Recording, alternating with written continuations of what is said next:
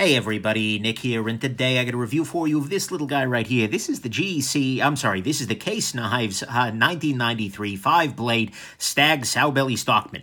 Uh, a little bit of a mouthful, but there, there, there you go. Um, This is made by uh, Case Knives, actually. It's the very first knife I've had on my channel from Case, and uh, very interesting. But actually, uh, I want to thank first my Patreon patrons for uh, putting this guy on my table. Every so often I will do a patrons pick for the Nick, where basically I will give my Patreon patrons a chance anyone can suggest an idea, and then whatever one uh, is most interesting to the you know majority of patrons is the one I'll do. And the thing that won this time was a knife with like four different blades. Um, and indeed, Oh, yeah, that's right. Five blades. I, I went one above and beyond for my patrons, so here I am. But actually, in some ways, you know, it's very much out of character for my channel. Um, but at the same time, it was interesting to check out A, a new brand, and B, also to see sort of, you know, this is a very, very unusual thing. Is it actually, does it make sense? So thanks for that, patrons. Next thing, let's do a little size comparison right quick. This is the biggest of the blades right here, and we can see that, um, put it up next to the Spyderco Delica, in terms of sharpened blade length, it's actually pretty similar. Um, although the, the, the, the blade itself, I'm sorry, the handle itself's a little thinner. Um, is a little thicker, that is, uh, by a pretty substantial margin. So there's that. Here it is against the Ontario Rat number one. Rat number two, two much more modern knives, um, but you can see again, size-wise, it's in the intermediate range. And then let's compare it to my two token traditionals. Um, there's this little guy right here. This is a Great Eastern Cutlery 99 pattern, and this is a Northfield unexcelled um, the 43 pattern GEC, both by Great Eastern Cutlery. This one's on the table for review. This one is in my permanent collection. But anyways, so there you go. Um, let's go ahead and jump into the good, the great, the bad, and the ugly of this little guy right here. So on the good side, um, first off, overall, the exterior finishing on it is pretty pretty solid. Um, what you can see here is that there is a fair amount of polish to this, and especially if I kind of get my fingerprints off of it, yeah, this is reasonably nicely polished. Um, you can see absolutely 100% your own reflection. You can see a whole bunch of stuff in there, and honestly, it's nice. Um, it's reasonably well done. Um, that's good, and I also have to say that the uh, materials on this guy are pretty well done, too. You've got yourself a, uh, little bit of stag here. You've got yourself a little bit of uh, brass and steel. You've got yourself the uh, oval shield, complete with the case logo, and the case Case logo is kind of interestingly done. There's a nice matte background around it. I mean, overall, it's not unattractive. And in fact, this main blade has some printing on it. Hold on just a second. I'll get that back out there for you. Come on. Ah, there we go. All right. Uh, the, the, the, main blade here has some printing to it. There we go. Case, Bradford, PA. There you go. Um, and that printing is not unattractive. Again, it's it's kind of cool. So um, I, I got to say, I got to give him credit for uh, making it both a nice exterior looking finishing knife as well as relatively unattractive. Um, next thing, the traditional, the fact this is a traditional knife and it is a very traditional traditional with the stag and everything, makes this actually a lot less scary to people. Um, as funny as it is, um, people are very differently scared by a cutting tool uh, if it looks like this as opposed to if it looks like this. Um, for some reason, this is a lot more, oh my god, weapon, to a lot of people than this guy ever will be. And so, as a result, this knife is a lot more lunchroom safe, and particularly if you open up one of the smaller blades, ah, there we go, one of the smaller blades on there, it's people are going to be hard-pressed to get too terrified by this. Some people will manage fear is a lifestyle, certainly. But at the same time, it is... Uh, yeah, that's got that going for it. Next thing, the uh, largest knife. Oh, damn it, I closed it. Hold on. Uh, the largest knife on this guy ah, here we go, is uh, actually has this flat area right down here. So you can see here, the little flat area, and when you put your index finger right there, that makes this guy actually very, very difficult to close accidentally on you. Um, even though this is completely a uh, slip joint style knife, there we go, um, this is absolutely 100% reasonably safe absolutely 100% reasonably. Wow. Which one is it? Um, This is a reasonably safe knife. Uh, even though it's non-locking, uh, this isn't really going anywhere, and particularly with this smooth area here, not going to close. That's good. Then finally, on the good side, um, every one of these blades is reasonably thin. The stock thickness that Case is using here is, is quite, quite reasonable. Uh, let me pull out my uh, caliper. Let me find my caliper. I don't know where my caliper is. I'm sure it's in the other room or something. Either way, um, I'm sure that's stuff that you can look right up. But the simple fact of the matter is that relative to a lot of other knives, this is reasonably thin, and it's also ground very thin. I mean, if we take a look here at the edge behind the sharpening choil, very, very thin. And so, as a result, um, if you sharpen this uh, guy up, it will outcut 90% of your modern pocket knives out there. So many of your modern tactical folders are very thick behind the edge for durability, um, but they've lost track of the fact that these really thin blades blade stocks with thin blade grinds can cut just beautifully.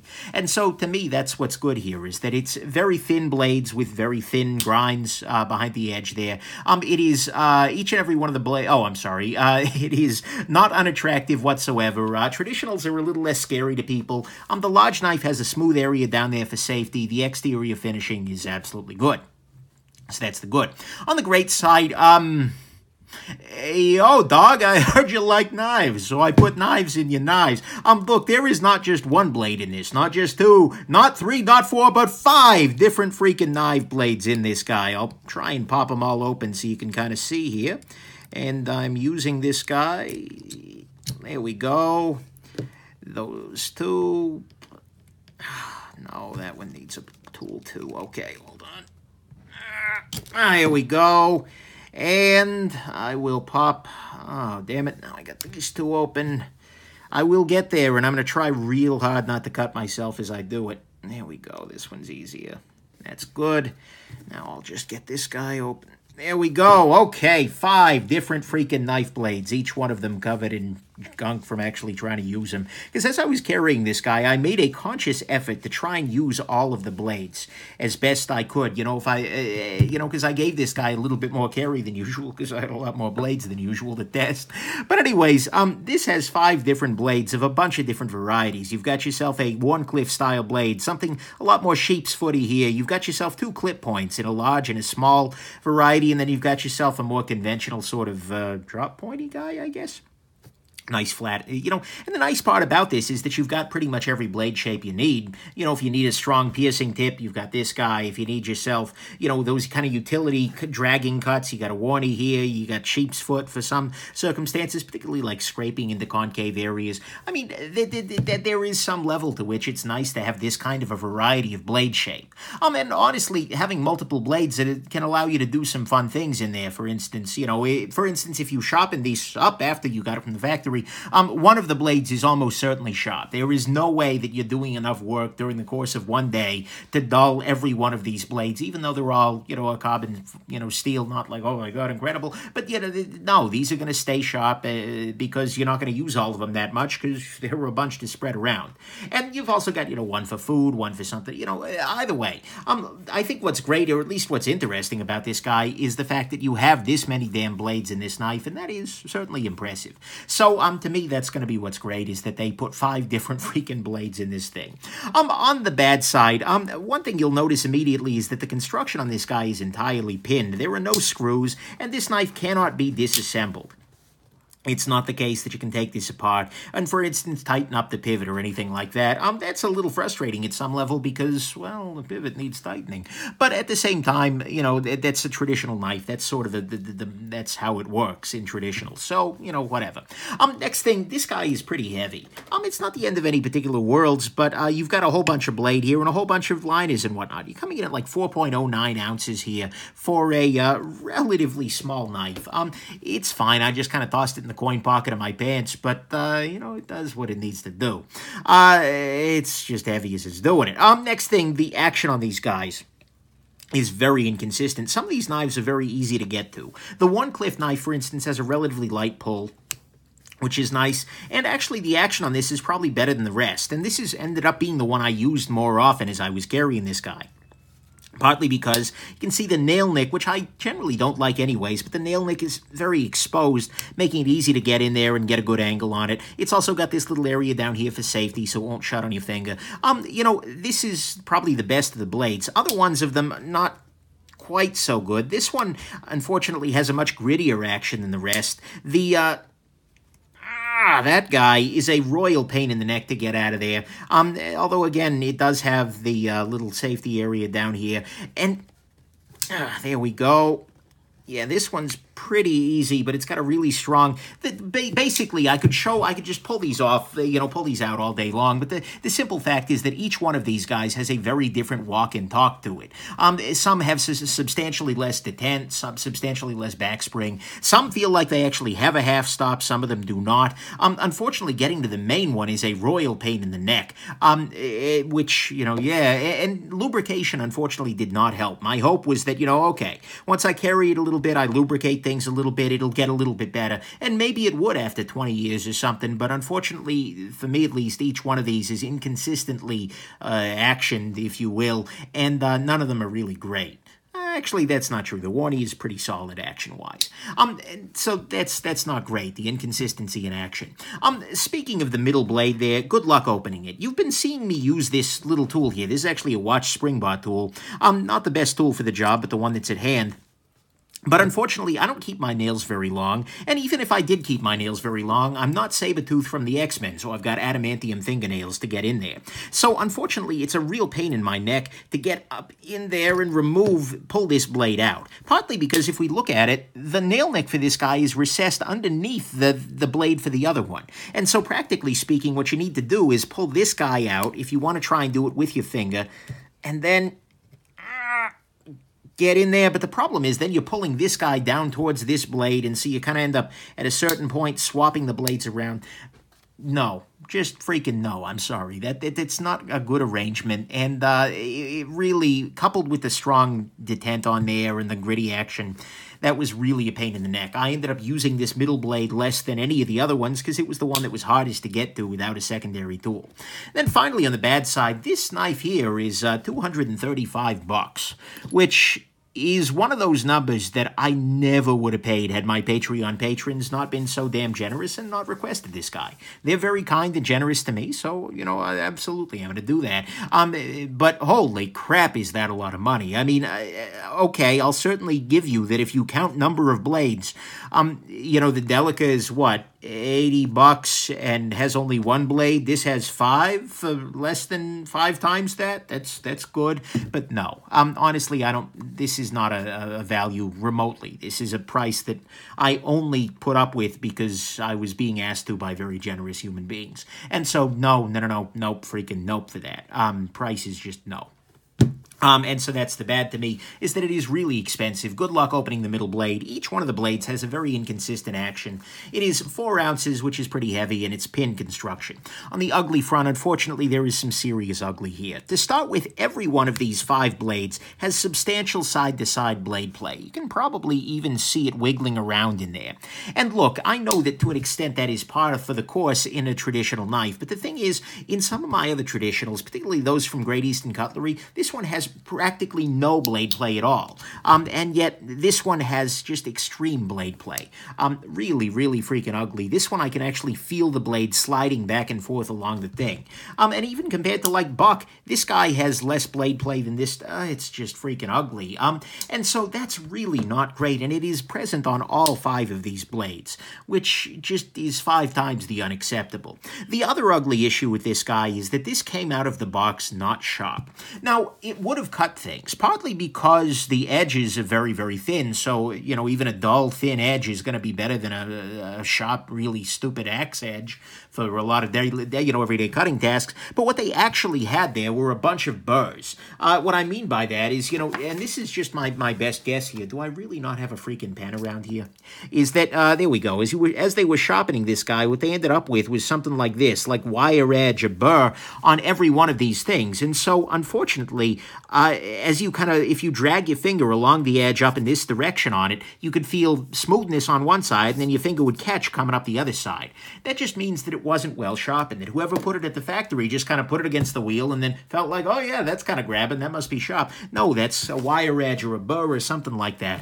Um, and unfortunately, it didn't knock off that easily either. So in order to carry this guy at all, I had to individually sharpen each one of these blades, and that wasn't a great experience. That's kind of your job case. I get that factory edges are generally not incredible, but this is way, way, way, way, way behind the curve. This is probably the worst set of factory edges I've had out of a box.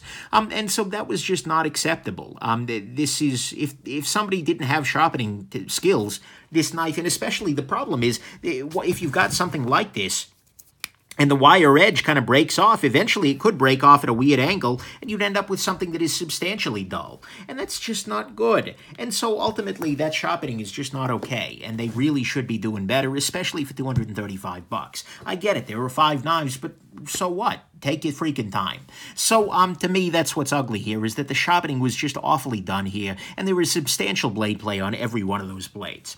So, look, um, final conclusions. This is a passable cutting tool. I mean, it is actually five passable cutting tools. You can open it, it will cut things. And, you know, frankly, they've got some nice affordances here, and it's not unattractive and things like that. But the problem with this knife is that it is all talk and no walk. It is a knife that looks great 100% of the time. It, it, it is beautiful on a shelf. Uh, if especially if you pop all those out there, you could set this up in your little glass shelf with all your other knives and just be like, wow, that's attractive. Wow, I love the beauty and grace of a traditional knife. But the problem is, then I had to carry it, and then I realized that no, this this isn't doing that. Um, because the action is really disappointing, and it's to the point where it gets a little bit frustrating because you're like trying to guide this out of here, and it's so inconsistent that you're like, okay, uh, should I keep applying force? A couple of times I've almost cut myself on this guy just trying to guide these blades out because there's a lot of back and forth, you know, like catches and such. Um, you realize that the blades on this guy are, well, at least certainly two of the five are a royal pain in the neck to get out of there, especially the big one, which is the one you might use most often. You're going to realize that every one of the blades has play, and that's ugly, and that the knife came out of the box with a bunch of burrs rather than edges. And then you remember that you could have bought, you know, a bunch of great modern knives for the price of one of these guys, and then you realize that, well, no. I mean, perhaps with enough use, the, the, the blades, the action that is, would be able to break in um, that, you know, would round off some of those corners and maybe some of the grit would come out of there from the factory and it would start to get smoother. And if I spent the full evening sharpening each blade again, or more specifically giving it, you know, a really keen edge, because I, you know, I wasn't spending, oh my god, like I didn't get out the freaking KME for every one of these. No, no, no, no. Um, but ultimately, and maybe heck, this is just a QC fail. Maybe that's what's going on here. Maybe this is the worst knife case has ever shipped. But I'm reminded ultimately of a saying in the in the knife community that I've heard a couple of times, and I've always felt true every time I handle their work, which is that cases for people, case knives knives, that is, are for people who like collecting a lot more than they like knives. And unfortunately, that's kind of my experience here. This right here is a great collector's piece. This is a knife that is absolutely gorgeous on the shelf, but it's something that belongs there to, to look at and to smile. It is an ode tradi to traditional knife making. It is an ode to case knife making, and I'm sure, you know, the, the, the people at the factory have a great deal of like, oh, wow, this is everything that we do.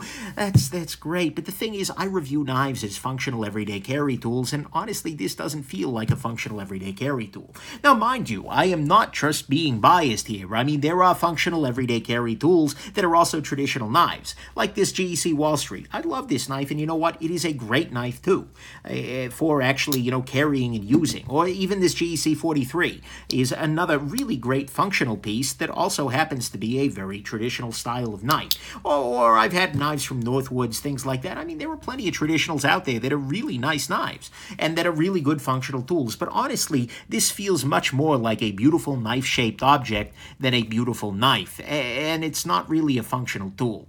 The idea, uh, coming back around, the idea of a multi-blade knife, though, isn't entirely absurd. I don't want to sound like I'm downing on it for that reason. Um, and I think that there are some, especially for the two-blader approaches, there are definitely some arguments there. You can keep one of them very, very sharp, like make one that is just extremely sharp, like hair whittling sharp, and then keep the other one as a user. That way, if you just need something to cut open a box or something, you use the user, but if you really need something that's incredibly sharp for a fine detailed cut, you've still got one in reserve. That's a great idea. Or maybe one blade is serrated, one blade is plain. Because serrated and plain blades have some different skills though a sharp plain blade tends to do the trick. Um, you could use one of them for food, one of them for, you know, motor oil or whatnot. If you're using the same knife for food and motor oil, have fun. I mean, there are reasons to do multi-blade knives. I think five of them is probably a bit much, even if they were really well done, but it's not a completely crazy idea. But this guy, unfortunately, kind of is. This feels to me like a collector's curio, a gimmick, the company mostly just showing off. And ultimately, I'm left feeling like this knife is actually labeled very accurately on the side of it here. Because at the end of the day, you're going to want this particular knife to stay right inside the case. Because, yeah, you don't want it in your pocket. So there you go. I hope this has been interesting. I, I'm really, I'm disappointed here, but at some level, it taught me a lot, and it let me know that everything I've felt in the past, at least in my personal estimation of the, the company is about where it actually lands. Um, so anyways, hope this has been interesting to you, uh, that you enjoyed all of these blades all at once, and that you have yourselves just an absolutely wonderful rest of your day. Bye now.